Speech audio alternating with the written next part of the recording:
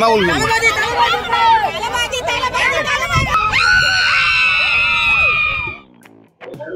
நடிகர் விஜயின் முதல் அரசியல் பிரம்மாண்ட மாநாடு விழுப்புரம் மாவட்டம் விக்கிரவாண்டி அருகே உள்ள வீர்சாலை என்ற பகுதியில் நடைபெற உள்ளது. இதனால் வீர்சாலை பகுதி மட்டுமின்றி விழுப்புரம் மாவட்டமே விழாக்கோலம் போல காட்சியளிக்கிறது.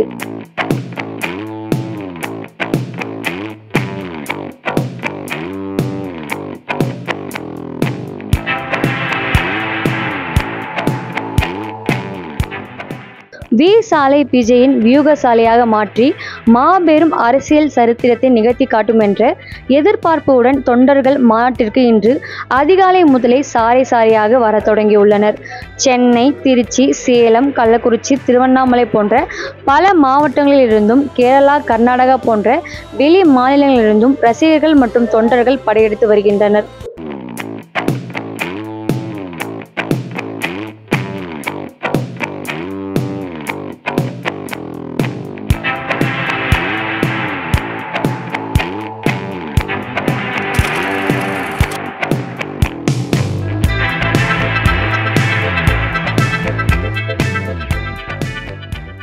க்கு வருகை புரிந்த தொண்டர்கள் பல பேரில் இளைஞர் படையாகவே காட்சியளிக்கிறது. ஐம்பத்தைந்தாயிரம் இருக்கைகள் மட்டும் அமைக்கப்பட்டுள்ள நிலையில் இரண்டு லட்சம் நபர்கள் வருகை புரிவார்கள் என எதிர்பார்க்கப்படுகிறது.